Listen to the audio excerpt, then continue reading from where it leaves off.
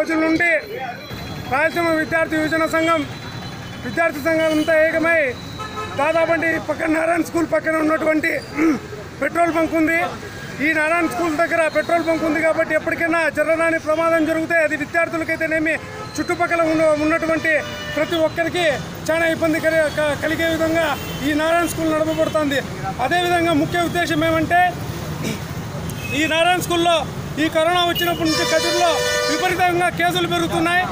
చేరడానికి కుటుంబం చేరడానికి కూడా ఇంత నెటువంటి నెట్టుకొస్తున్న భారంలో ఇప్పుడు ఈ నారాయణ స్కూల్ విద్యార్థుల తల్లిదండ్రుల దగ్గర ఫోన్లు చేసి ఆన్లైన్ క్లాసుల ఫీజులు అదేవిధంగా బుక్ ఫీజులు అదేవిధంగా రెన్యువల్ ఫీజులు అంటూ పాద వారికి చాలా బెదిరించి వాళ్ళ సతాయించి తల్లిదండ్రులు తల్లిదండ్రుల దగ్గర ఫీజులు వసూలు చేస్తున్నారు. కారణం ఈ ఇదే సమస్య మీద గత పదహైదు రోజుల నుంచి మేము చేస్తుంటే ఎంబీఓ గారి దగ్గరకు వచ్చి సార్ ఇది పరిస్థితి ఇలా చేయకూడదు. రాష్ట్ర ప్రభుత్వం ఏం చెప్పింది? ఉత్తర్వులు జారీ చేసింది. ఇప్పుడున్నటువంటి పరిస్థితుల్లో స్కూళ్ళు నడపరాదు ఆన్లైన్ క్లాసులు నడపరాదు అని చెప్పేసి ఆ ఉత్తర్వులకు ప- పక్కన పెట్టేసి వారి వ్యతిరేకంగా నారాయణ స్కూల్ వాళ్ళు ఈరోజు అక్రమంగా దారుణంగా ఫీజులు వసూలు చేస్తున్నారు. ఇదే విషయం మీద ఎంఈ ఎంఈఓ గారిపై కలిస్తే ఎంఈఓ గారు ఏం చెప్తున్నారు? డిఓ గారికి మేము పంపిస్తాం. తర్వాత మేము ఈ సమస్య మీద పరిష్కారం చేస్తామంటు అంటున్నారు. కానీ ఏం పరిష్కారం చేసినారు? గత పదహైదు రోజుల నుంచి మేము తిరుగుతూనే ఉన్నాం. మీ ముందర కూడా ధర్నా చేశాం. కానీ మీరు మాత్రం ఇంటూ ఇంతవరకు దీని మీద స్పందన లేదు. మాట్లాడితే నా పరిధిలో లేదంటారు. అంటే నీ పరిధిలో ఏమున్నాయి? మీ పరిధిలో ఏమన్నా చెప్పండి. అంటే ఏమన్నా జరగన నష్టం జరిగితే అది నైతిక బాధ్యత మీరు వహిస్తారా? లేదా పెట్రోల్ బంక్ వాళ్ళు వహిస్తారా? లేదా ఆ స్కూల్కి లేఅవుట్ ఇచ్చినటువంటి అధికారులు నైతిక బాధ్యత వహిస్తారా అని చెప్పేసి ఈరోజు రాయలసీమ విద్యార్థి సంఘం తరఫున మేము కార్మిక మద్దతు ఇస్తూ ఈరోజు మేము ఈ డిమాండ్ చేస్తున్నాం. అదేవిధంగా ఏవ ఏవైతే ఈ స్కూల్ పకాయలు ఈ రెన్యువల్ ఫీజులు అంటూ ఈ- ఈ అక్రమంగా ఇచ్చేస్తున్నారో దాని మీద మాకు వెంటనే ఈ సమస్య మీద క్లారిటీ ఇవ్వాలని చెప్పేసి మేము రాయలసీమ విద్యార్థి యువ సంఘం తరపు నుంచి మేము డిమాండ్ చేస్తున్నాం. నిబంధనలకు విరుద్ధంగా పేదలంతా కష్టకాలంలో ఉన్నారు. ఈ కరోనా మహమ్మారి ప్రపంచవ్యాప్తంగా విజృంభణ సమయంలో ఇలాంటి సమయంలో తినడానికి తిండి లేని సమయంలో ఈ లాక్డౌన్ నిబంధనలకు విరుద్ధంగా కదిరి పట్టణంలో ఉన్న నారాయణ స్కూళ్ళలో కోట్ల దాదాపు ఒక కోటి ఎనభై లక్షల రూపాయలు వసూలు చేశారు. రెన్యువల్ ఫీజు ఐదు వేల రూపాయలు అంటూ బుక్స్ ఫీజు ఐదు వేల రూపాయలు అంటూ ఆన్లైన్ క్లాసుల ఫీజు రెండు వేల ఐదు వందల రూపాయలు అంటూ చెప్పి ఈ పొద్దు ఒక కోటి ఎనభై లక్షల రూపాయలు వసూలు చేశారు. ఎవడబ్బా సొబ్బని వీళ్ళు కో- ఒక కోటి ఎనభై లక్షల రూపాయలు వసూలు చేశారు. ఈ వసూలు చేస్తున్నా కూడా ఎంఈ ఒకరు చూసి చూసినట్లు వివరిస్తున్నారు. ఆ కోటి ఎనభై లక్షల రూపాయల్లో మీకు ఏమన్నా ముట్టిందా? మీరు అట్లాటప్పుడు ఎందుకు చర్యలు తీసుకోవడం లేదు? ఏమైనా అడిగితే సార్ పలానా పరిస్థితి జరుగుతుంది. ప్రత్యక్షంగా మీరు కూడా చూశారు. ఏం చేశారు సార్? అంటే నా పరిధిలో లేదంటారు. నీ పరిధిలో లేనప్పుడు నువ్వు ఎందుకు ఉండాలా?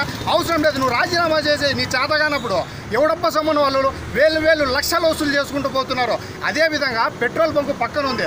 పెట్రోల్ బంకు పక్కన ఉందంటే నాకు దాని స్థాయి కాదు అంటాడు. నీ మళ్ళీ నీ స్థాయి ఏమి? చర్యలు తీసుకోలేవు. నాకు సంబంధం లేదంటావు. నేను చూడలేదంటావు. నా పరిధిలో లేదంటావు. అట్లాదప్పుడు మీరు విద్యాశాఖ అధికారిగా కొనసాగడం వల్ల ఉపయోగం ఏముంది? కదిరిలో పెట్రోల్ బంకు పక్కన నారాయణ స్కూల్ అనేది గత నాలుగేళ్ళ నుంచి కొట్లాడుతున్నాం. ఇప్పటి వరకు కూడా మీరు దానిపైన స్పందించలేదు. కదిరిలో అన్ని స్కూళ్ళ కంటే కూడా ఎక్కువ నారాయణ స్కూల్కే ఫీజులు కూడా ఎక్కువ వసూలు చేస్తున్నారు. ఒక సంవత్సర ఆదాయం పద్నాలుగు కోట్ల నుంచి పదహైదు కోట్ల రూపాయలు వసూలు చేస్తున్నారు. అయినా కూడా చూసి చూడట్లు వ్యవహరిస్తున్నారు అధికారులందరూ కూడా. మేము ఇప్పుడు కూడా ఆర్ఎస్ వైపుగా దీన్ని తీవ్రంగా ఖండిస్తున్నాం. విద్యాశాఖ అధికారులు కావచ్చు దీనికి సంబంధించిన అధికారులందరికీ మేము ఒకటే తెలియజేస్తున్నాం. కదీరులో పెట్రోల్ బంకు పక్కన ఉన్న నారాయణ స్కూల్ని సీజ్ చేయాలా? నిబంధనలకు విరుద్ధంగా వసూలు చే అక్రమాలకు పాల్పడిన నారాయణ యాజమాన్యపైన చర్యలు తీసుకోవాలా? పెట్రోల్ బంకు పక్కన ఉంది కాబట్టి నారాయణ స్కూల్ని వెంటనే సీజ్ చేసి గుర్తింపు రద్దు చేయాలని చెప్పేసి ఈ సందర్భంగా రాయలసీమ విద్యార్థి యువజన సంఘం మేము తెలియజేస్తున్నాం. మీరు కానీ ఇప్పటికి కూడా స్పందించుకోకుంటే ఖచ్చితంగా మేము క- రీలే నిరాహార కాకుండా ఆమరణ నిరాహార కూడా చేస్తామని చెప్పేసి ఈ సందర్భంగా తెలియజేస్తున్నాం.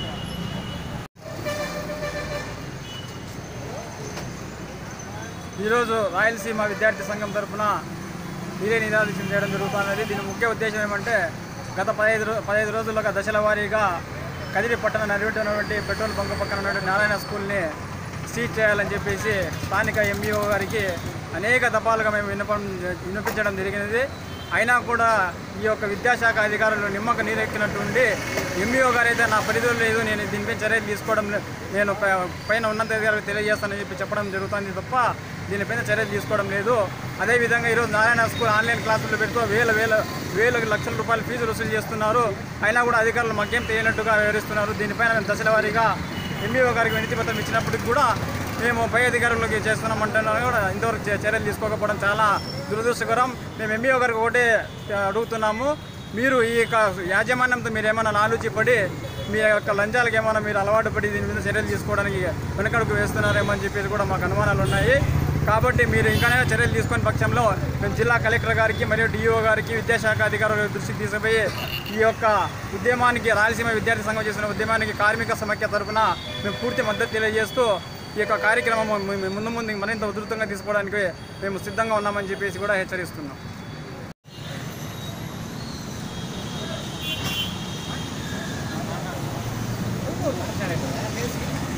మాట్లాడు.